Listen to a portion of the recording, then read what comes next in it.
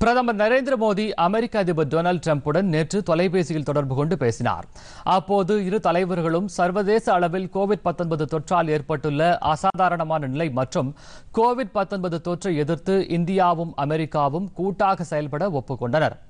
அமெரிக்க அதிபருடன் நடைபெற்ற இந்த தொலைபேசி கலந்துரையாடல் பயனுள்ளதாக இருந்தது என்று பிரதமர் நரேந்திர மோடி தனது டுவிட்டர் செய்தியில் குறிப்பிட்டுள்ளார். கோவிட் 19 தொற்றை எதிர்த்து முழுவீச்சில் பாடுபடுவது என்று இரு நாடுகளும் முடிவு செய்திருப்பதாகவும் அவர் கூறியுள்ளார். பொதிகை செய்திகளை யூடியூபில் தமிழ் நியூஸ் தூர்தர்ஷன் என்ற சேனலிலும் ட்விட்டரில் Tamil news Doordarshan at DD news Chennai என்ற பக்கத்திலும் காணலாம்.